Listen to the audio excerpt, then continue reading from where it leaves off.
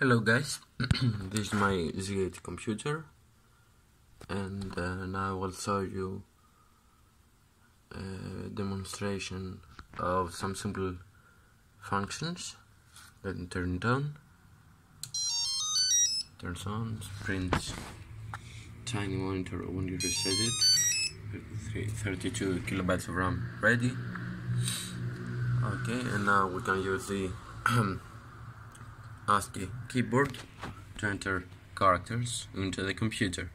So I will uh, dump memory address 8100. You can see this is the start of the RAM. It has some garbage over there. So I will press Ctrl X uh, the control X uh, it's the same as escape. And I will poke plus start address on uh, 8100 so at the start of, the start of the um, RAM let me open my uh, Chrome here to find the instruction I want. Increment A increment A. Somewhere over here. Uh, here are the increments. So increment A. See. Okay. So over here. We'll write um, 3E zero one. That loads the accumulator the A register with zero one. Um, D three. A zero. Three C.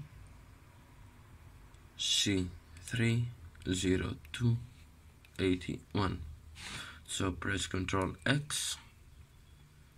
Um, I will again I will dump the address one uh, 8100 so here we can see the stored program into the RAM 301 loads the accumulator with uh, 01 the register A with 01 D3A0 um, outputs the contents of the accumulator to the A0 port. This is over here beneath the screen. Over there it's a speaker the sound port. Uh, 3C increments uh, the register A.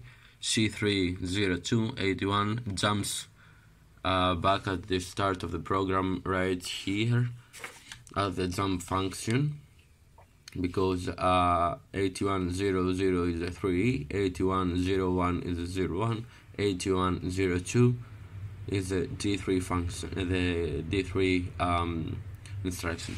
So if I press again Control X to jump out of the subroutine and press jump this function uh, loads the processor uh, loads the um, program counter with the address 8100 so the start of the RAM and it will execute then we can hear this uh, beautiful noise from the speaker. Again press the reset on the computer and reset everything. That's all